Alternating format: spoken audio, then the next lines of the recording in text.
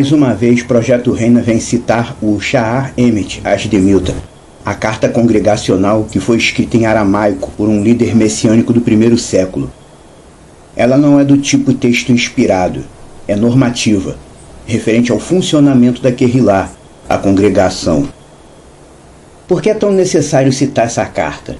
Para haver restauração, é necessário citar Sha'ar Emet porque os crentes de hoje em dia acham que a Querrilá era apenas uma igreja primitiva, que só era diferente da igreja atual porque o pessoal ainda estava muito primitivo, por assim dizer.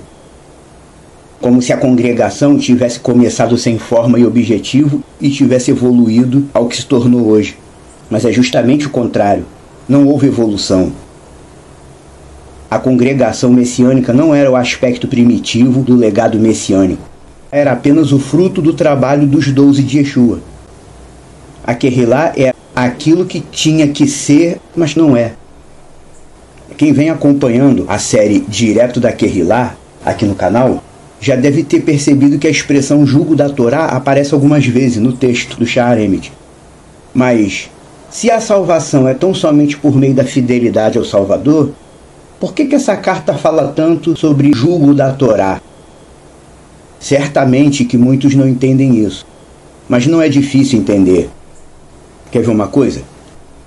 Em Atos 15, verso 19, e depois no verso 29, Yaakov, o que chamam de Tiago na Bíblia brasileira, que foi o primeiro líder messiânico, ele diz: Não devemos perturbar os estrangeiros que se voltam para Iá, mas apenas adverti-los a praticarem as quatro abstenções citadas da Torá, relações ilegais, prostituição, a carne de animais sufocados e o consumo de sangue.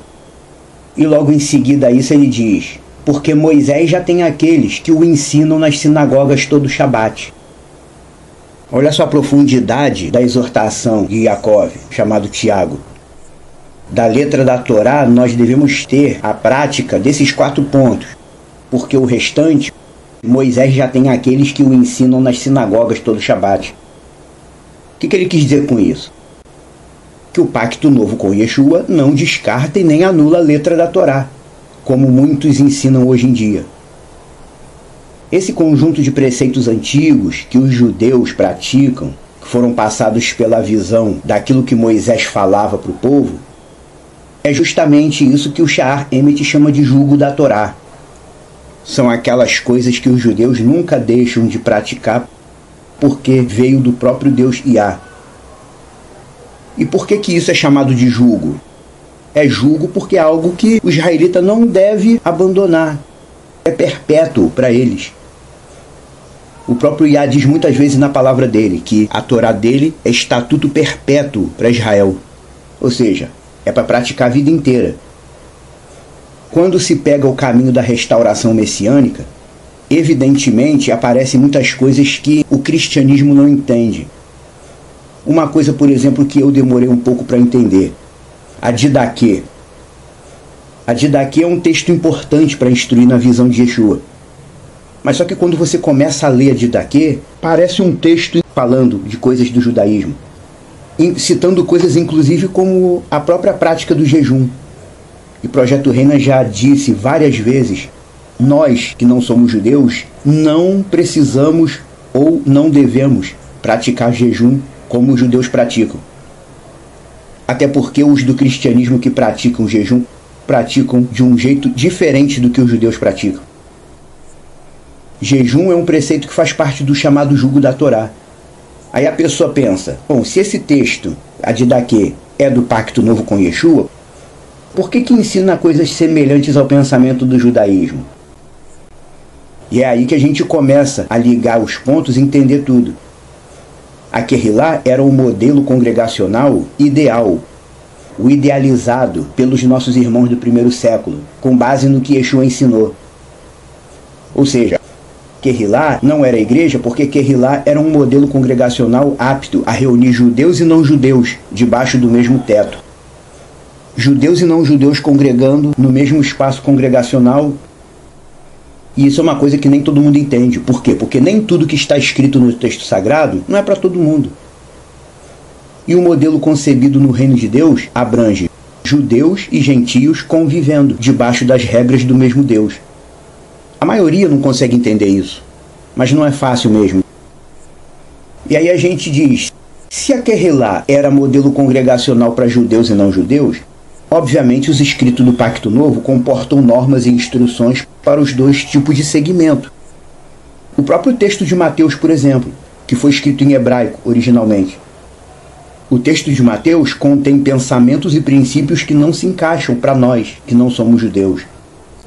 Pois enquanto era humano aqui na terra, Yeshua discursou diretamente para judeus e para não judeus. Você que já leu o texto do Pacto Novo inteiro, chamado Novo Testamento, em algumas partes do texto, Yeshua diz coisas que parece que ele está falando só para judeu, para israelita de sangue, cobrando dos judeus que eles ajam como judeus. E em outras partes parece que ele está ensinando totalmente o oposto para quem não é judeu, pregando apenas fidelidade ao discurso dele. Quer ver um exemplo? Yeshua disse aos fariseus, exortando eles: Ai de vós, que negam a misericórdia e a justiça, mas dão o dízimo, até da hortelã. O fato dele ter dito isso não significa que eu e você temos que dar dízimo da hortelã, nem dízimo de nada, porque o dízimo existia para sustentar o sacerdócio levítico. E no Pacto Novo não tem sacerdócio levítico. Outro exemplo, vemos no texto de Mateus, Yeshua limpou muitos metzorai. Oh, o que é metsorá? Metsorá é aquilo que chamam de leproso por causa do texto grego. O Metsorá era portador de tsaraat, que é aquilo que chamam de lepra, que não era doença, mas o pessoal coloca como se fosse doença. Inclusive tem explanações aqui no canal falando sobre a tsaraat. Recomendo que você acompanhe. Aí você vê esses exemplos, você às vezes fica com dificuldade de ligar os pontos. Por que está escrito Yeshua limpando o Metsorá? Não existe mais tsaraat no mundo? E aí, o que, que a gente faz então com esse tipo de texto? Arranca ele da Bíblia, rasga a página? Não. O texto sagrado não foi escrito só para nós e nem só para judeus. Ele foi escrito de modo a falar com a gente e com os judeus. É por isso que existe o termo jugo da Torá. É por isso que existem coisas que são para judeus e não para nós. E vice-versa. Nós não estamos ligados ao jugo da Torá. Nós não temos obrigação com certos estatutos da letra da Torá, mas o judeu tem. Como Iá bem disse, é estatuto perpétuo para eles. Para eles. Para nós não. Como a questão da cachirute, a prescrição alimentar. No texto, a gente vê Iá falando: não deverá comer isso, isso, isso, isso, isso. É abominação para vocês. Iá está falando com quem? Com o povo hebreu. É abominação para eles, para nós não. Mas muita gente ainda não é capaz de ouvir isso. Tem explanação sobre isso no canal também. E Paulo? Paulo escreveu aos Coríntios se recomendando como ministro de Deus em várias coisas, inclusive nos jejuns. Mas se eu sou um fiel de Yeshua e não suporto o jugo da Torá, se eu não suporto o jugo da Torá, eu não devo me sentir obrigado a jejuar, nem circuncidar ou fazer bar mitzvah, ou usar talit, ou cumprir kasherut. Porque o jugo da Torá está tudo perpétuo para quem é israelita de sangue. Você entende? Assim funciona o texto do Pacto Novo, o chamado Novo Testamento. E assim também funcionam os outros textos, incluindo a Didaquê. Você abre o texto da Didaquê, você lê coisas que são típicos ensinamentos de Yeshua, mas também lê normas judaicas coisas que são para judeus.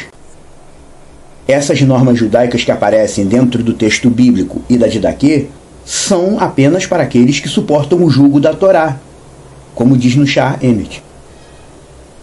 Se você quer andar com Yeshua, mas você não suporta o jugo da Torá, não precisa se sentir inferior nem menos espiritual. Apenas faça como era ensinado pelos nossos irmãos do primeiro século, que eram mais espirituais do que a gente. Foque-se apenas na fidelidade ao que Yeshua ensinou.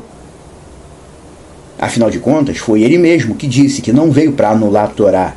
Ele veio para torná-la completa, ou plena, termo original. Yeshua não veio anular a Torá, ele veio torná-la completa. Completa por quê? Está faltando alguma coisa no texto da Torá?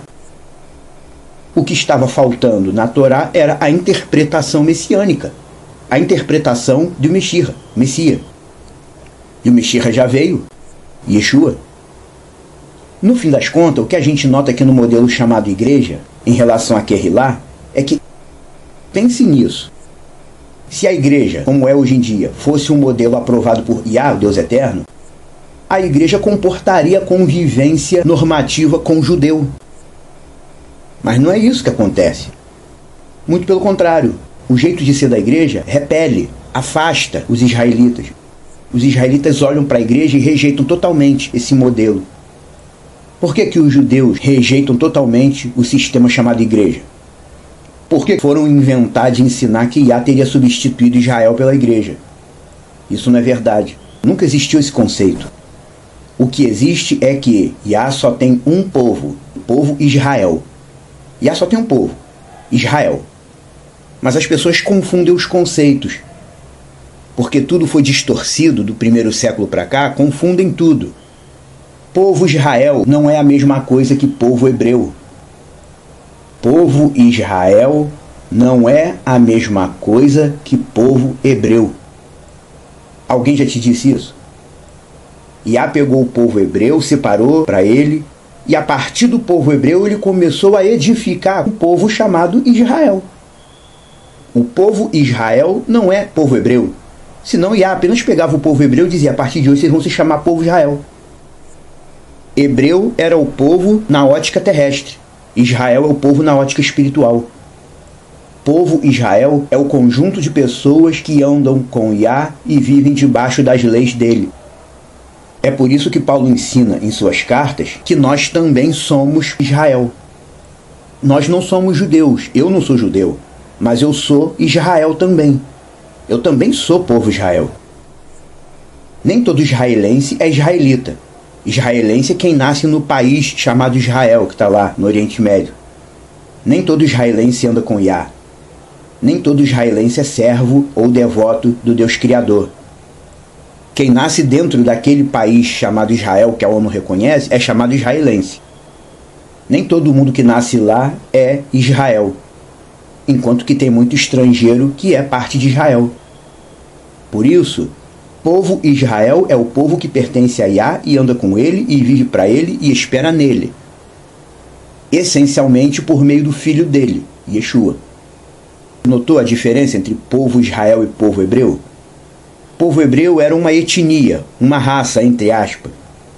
Israel é um povo misto, feito de israelitas de sangue e pessoas de outras nações, os quais andam com o Deus Yah e vivem para ele. Por isso, nós também somos Israel, por meio de Yeshua. Sendo assim, se você serve ao Deus Iá e o judeu lá também serve ao Deus Iá, que eles não chamam de Iá por questões culturais, mas é o mesmo Deus, o judeu suporta o jugo da Torá, porque ele foi criado para viver assim. Mas nós, que nos tornamos Israel através de Yeshua, ele carregou o jugo da Torá por nós visto que nós tecnicamente fazemos parte de Yeshua, somos extensão de Yeshua, Yeshua carregou o jugo da Torá por nós. É só isso.